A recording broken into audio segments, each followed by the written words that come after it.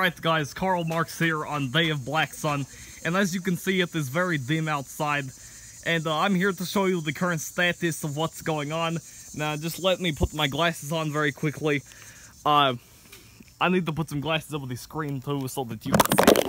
Uh, but as you can see guys, this, this is what it currently looks like where I am. This is probably going to be the maximum coverage that I'm going to see. Uh, you might not be able to see it as clearly as I can through my glasses because obviously you're looking at it through a, through a video. But anyway, that is what's going on right now, guys. Uh, hopefully it won't be the apocalypse anytime soon.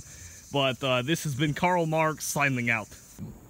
Okay. Alright, I'm going to show the moon what it gets for stealing Now our you can't look up at it. I know that. Do you think I don't know that?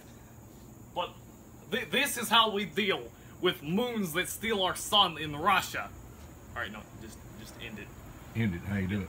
Hit it again. Click the record button. Yes. Huh? Just click the report. Click the record button. I did. But it's still doing it, ain't it? Yeah. All right, just, just let me see it. Right side.